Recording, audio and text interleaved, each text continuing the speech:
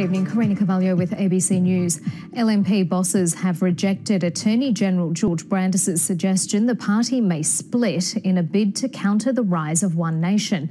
Opposition leader Tim Nicholls has called the Queensland senator to voice his displeasure at being labelled very mediocre. Only a few months ago, Tim Nicholls and Senator Brandis looked smitten, but the shine's faded. I disagree very strongly with what Senator Brandis is talking about. And the opposition leader phoned to tell him so. I've had a chance to have a chat with Senator Brandis. Uh, again, I strongly disagree with uh, his comments, and I've made my point of view very clear. The Federal Attorney General didn't know his mic was open when he gave this frank assessment. I'd say that the state opposition is very, very mediocre, and the, and the state government is very, very mediocre. Former Premier Campbell Newman has added another demoralising blow.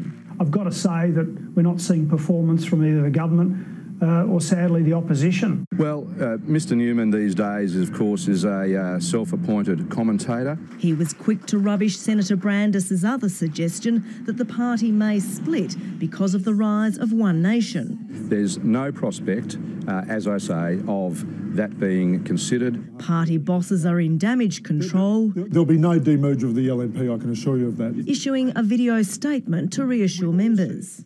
There is no desire, need, or appetite to go back to the pre merger days. The ructions were felt in Canberra.